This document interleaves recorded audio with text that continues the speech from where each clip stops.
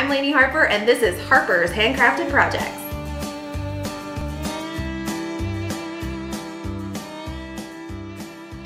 Today we are building a workbench. Well, today we're building the top of a workbench. It's going to be awesome.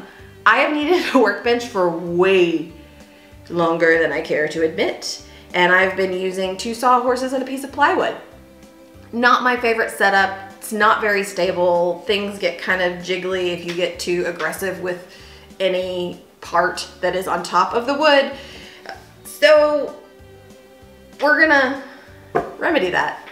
I have two desks that were gifted to me. Uh, they were found on Facebook Marketplace for 25 bucks a piece. They've got beautiful tops. The, the wood is in really good condition. The finish is, yeah, kind of gross. But the wood is in good condition and it's uh, sort of a glued up butcher block type, but it's just uh, like 16 pieces of one, one and a half square board. So what we're gonna do is pop them apart if they wanna come apart and then reglue them, but adding biscuits to realign them and have, have more glue surface. So we're gonna use a biscuit joiner, pipe clamps, a circular saw and a new method to do straight edge cuts with a circular saw, a block planer, and sanding. So pretty low uh, material, like uh, actual tools if you don't have an actual planing machine. Um, it would be a lot easier if I had one, but we're gonna do it by hand this time and see how that goes. So we're gonna pop them apart best we can, um, clamp them, mark them where the biscuits should go, uh, cut biscuit holes, and biscuits are oblong discs of wood that you seat in between two pieces of wood to um, align them better. And then we're gonna glue them and clamp them and then plane it to where it's flat and then sand it to where it's beautiful. And then we'll have the tabletop done and then the base is a different story. But that's our process. Let's get started. We have our tabletop and this actually, it's come apart and that's why we're re-gluing it together. But some of the parts, some of the pieces decided that they aren't ready to split yet. So what I'm gonna do is help along the ones that are already splitting by using a shim and a persuader. A shim is just a scrap piece of wood. You can buy these in bundles at the Home Depot. It's got a taper to it that allows you to kind of get it in. And this is a, a rubber mallet. I don't want to use an actual hammer because it could dent the wood or split it all together. It's too heavy. This is kind of just a persuasion technique.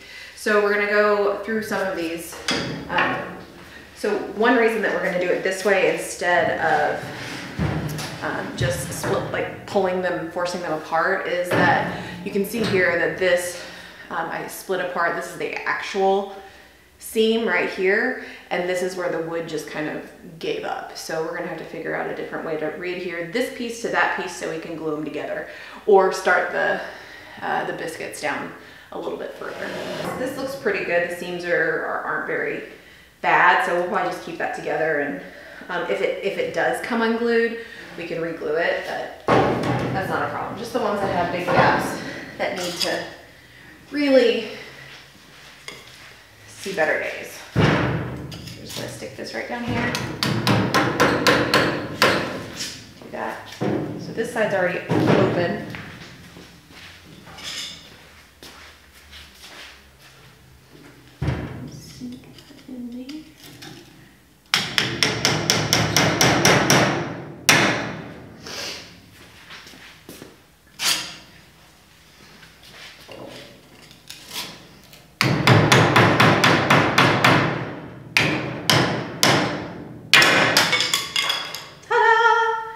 Gives up the ghost. Again, just like uh, all of these pieces are numbered on the end, so I know which order they go in. So I'm just gonna keep them all lined up before I put the biscuits in. As I'm going through here, I'm only doing a little bit and going through because if you try to drive this all the way down, it'll split really fast and it really increases the likelihood of you damaging the wood. So I'm trying to go a little bit at a time and just kind of slowly easing it apart as opposed to, because if I just did it on this end, it would be the same as just popping it apart.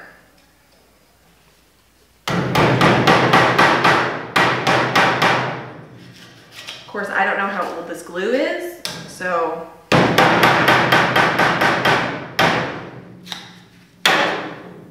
I would venture to say at least 30 years.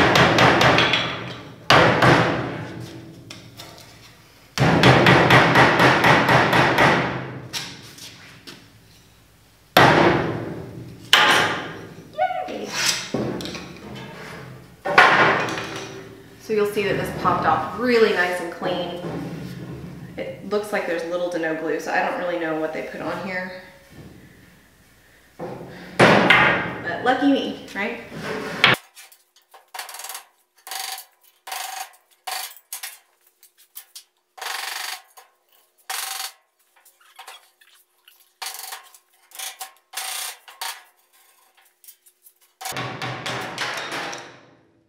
Now all of these boards are ready to mark. Uh, now that they're apart, there's a lot of finishing work that'll need to be done just to get years and years of grime off of these boards. However, what's great is that they're all pretty well planed and they've got really nice thickness to them. So even when I sand it down, it won't get flimsy. What I'm gonna do is clamp these all together and then mark out where all of the biscuits go. It's typically you do it at least six inches from the end just in case you wanna trim, trim them off. It won't be right there and show. Uh, the Typically it's every, depending on which biscuit you use and who you're talking to, uh, between six and 12 inches apart. And I'm going to do about 10 inches apart. But I'm also, because each side of this is gonna have a biscuit in it, I'm going to alternate uh, where it is. So if you think of bricks, um, it'll be like that. So we're gonna mark what that looks like.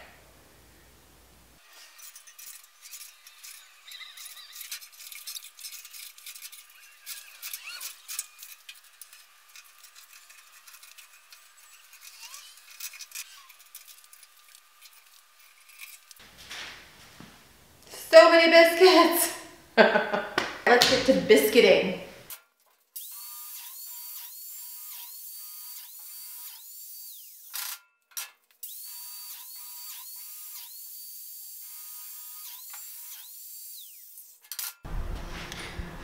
We're gonna get to gluing these up. We've cut all of our biscuits and made sure that all of the slots are clean. Usually I'll just take a biscuit and get just scrape it through the, the hole to make sure that there isn't any sawdust in there so you can make sure that it fits down flush with it. You won't have any problems whenever you're persuading it in. I'm using number 20 biscuits. They come in a can like this. This is a 100. I got it from the Home Depot. Um, uh, we're going to use uh, this brush. This is a plastic silicone brush and you can use anything to make sure that you get it on the surface and smeared on there. But I like this because the directions say to let it dry and then just pull it out. And I'm lazy, so washing paintbrushes isn't really my favorite thing. So this one I like is still kind of wet on there. So we'll just keep using it. So we're gonna make sure it gets down in all of the holes and is flat on the surface. And then we're gonna just build it up like that and persuade it in and lay it flat, clamp it down.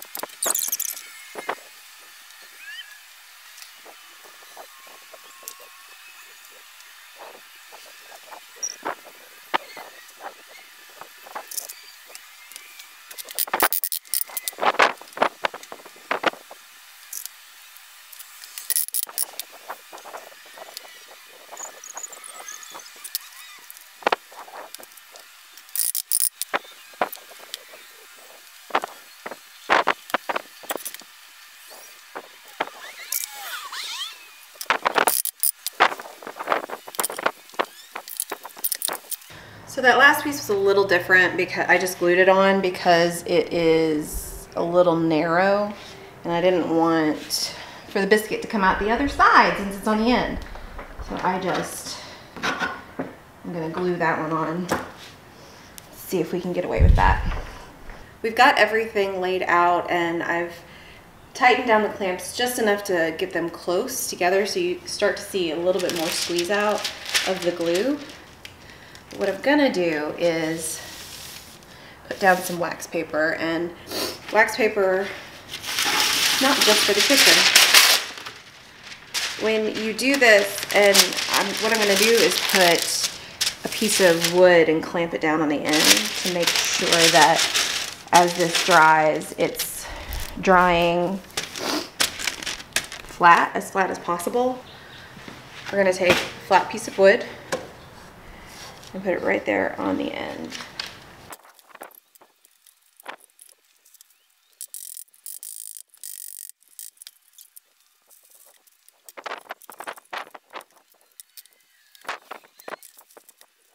So the last thing we're gonna do to clamp this up is add two clamps to the middle because it's got it on each end really nicely. So let's make sure that the middle stays as tight as the other parts.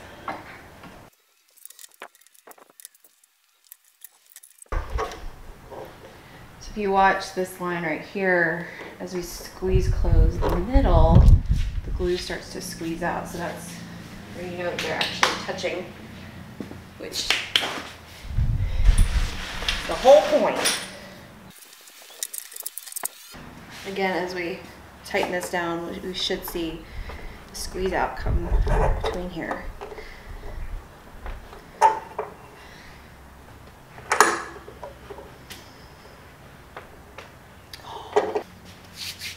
Better. So there are different schools of thought on to whether or not to clean up the glue before it dries or after. And, you know, I'm to be planing and sanding this anyway. So I'm just going to leave it. Let it dry like this. And I don't know if I have a preference on the which way, but you know what, here's, we'll do it, we'll do a test. We'll do a field test. This one we've kind of cleaned up. Let me get a, a rag.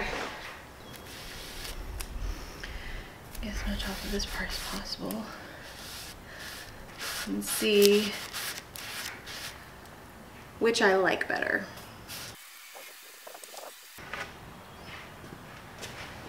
This has been curing for a little over 24 hours. The glue says to, to wait 24 hours for it to harden appropriately, which I waited at least that long. So we're gonna undo this and see how it turned out. I know there'll be some sanding in our future, but I think for the most part it did pretty well.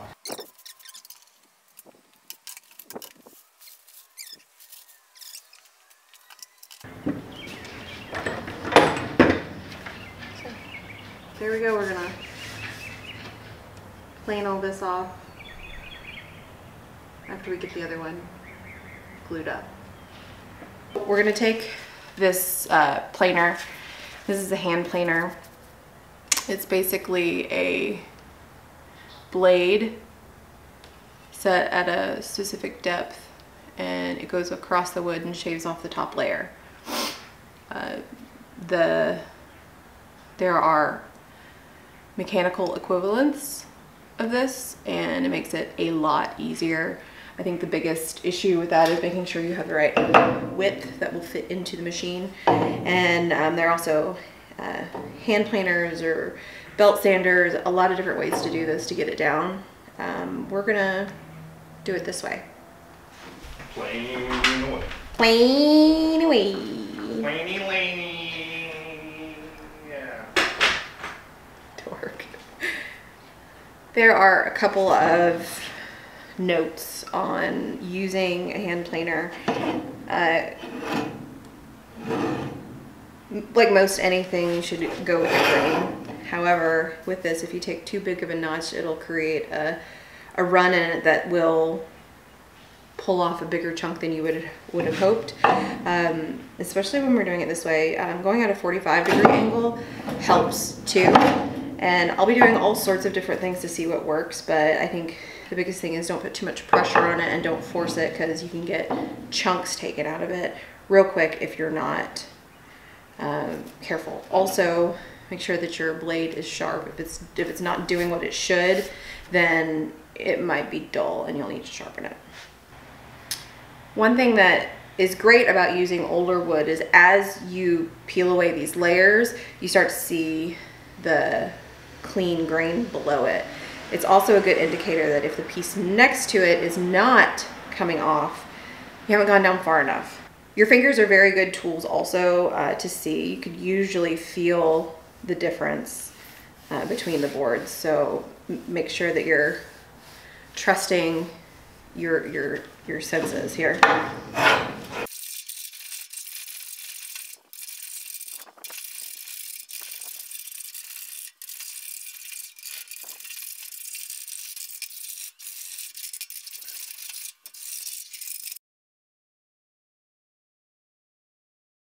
So I planed both of the sides to where they're pretty close to even. It got all of the glue out of out of the seams here and made sure that it felt pretty flat to the touch. I still got some more work to do to where it feels like I'm going across a flat surface, which I'll get to that, but this is a full board uh, glued up. I did two the two pieces and then just did the one glue joint and we're letting it cure. I put these on the edges um, again, just like I did with this piece because I wanted to make sure that, I know that this piece is flat or relatively flat. I wanted to make sure that as the glue dried, that it had a reference that it wouldn't start to bow up or down. I wanted to make sure that it would stay flat because it's a tabletop, that's what I'm going for. We are going to plane this a little bit more and then sand it to where it's really nice to the touch. The planing gets it most of the way there, the sanding gets it all the way there, so I'll be using a pretty high grit. Since glue squeezes out on both sides, I'm gonna do a, just a really nice light uh, plane on the back of this. So as I'm putting the bottom together, I know that that'll sit flush as well, especially where the apron or the legs are gonna go. I've gone ahead and started sanding. I, I'm gonna try to get pretty close in this. I don't know if you can tell my planing is not the best, but it did get most of it fairly even, which is what I was going for. So I'm going back over it with 80 grit. You can see how much better it looks uh, between between here and here.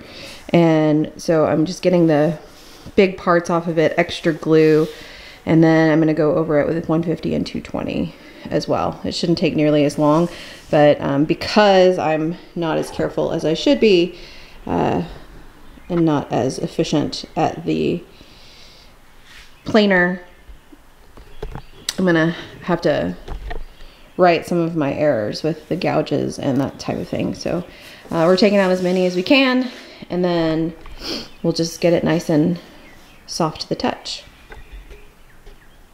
Sorry about the lawnmower, but so is life. Uh, what we're gonna do to finish this off is uh, cut off the ends of the board to where they're even.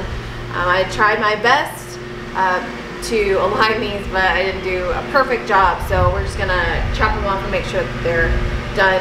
So what I've done is installed a straight edge here at the uh, width of this circular saw. So what I did was I measured, I know that the blade is right here on this little notch right down here. So I've aligned it to fit right here and it's just gonna run straight up against this edge and I don't have to worry about whether or not I'm doing a good straight job. Uh, we're just clamping it down and turning this. So we're gonna cut this off and we should be done with our tabletop.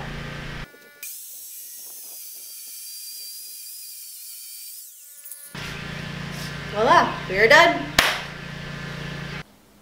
Guys, I have a couple of notes on this process. First, the tops look lovely. I, I love them. Uh, They're imperfect, but I planed them by hand and I think that that is an endeavor in and of itself and I really enjoyed it. Would I do it again? Probably not. I will probably invest in a planer a machine planer to do my tabletops from now on. I think it takes a lot of time out of the process. So I've done it. We can say that I've done it. I've put a lot of hand block planing hours into this into this project and I'm good. So that part, I, I really liked it. I thought it was fun. Second part is that tabletop got real heavy real fast. And I'm sorry that you guys couldn't see me struggling with it because if you're like me, you like to watch people struggle. Just a little bit. Not not like in a mean way, just in like a do you need help? Like all you have to do is ask for it. I didn't ask for help and there was a big crash boom bang moment and thank goodness Justin was around and he came down to check on me and it was comical now. Then it, it was not. Uh, I don't know what part of me is headstrong, but mostly all of it, but I didn't want any help. And that's not the way to go about doing this. You can injure yourself and like really badly. You could break everything and have to start over. And that's more infuriating than anything else. So ask for help if it gets too heavy. Make sure that for parts that you can't handle on your own, that you can come up with some other system to smush them together or to, but the approach that I took, I tried to do it on two heavy pieces and it, it was terrible. So ask for help. It's, it's not a weakness, it's, it's smart. And I was not smart for parts of these. So the next part is going to be the base. And I have some sketches, I have some ideas of what I want it to look like, but the big things are it needs to be um, disassemblable just in case I need to move or move it or uh, something, but uh, super heavy workbench is great for not letting it like move across the floor when you're trying to do something on top of it, but it's also really bad to move a thousand pound um, piece of equipment.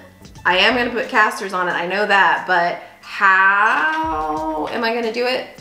Still working through that. So that'll be in the next part. I'll walk you through my design process. I'll walk you through how I like to figure it out and some of the resources that I use because there are some people who've done some amazing work in their workbenches, but if it doesn't suit you and what you've got, then it's it's going to be wonderful and to plan, but it might not fit your exact needs. So I'm taking some of those things and making it my own.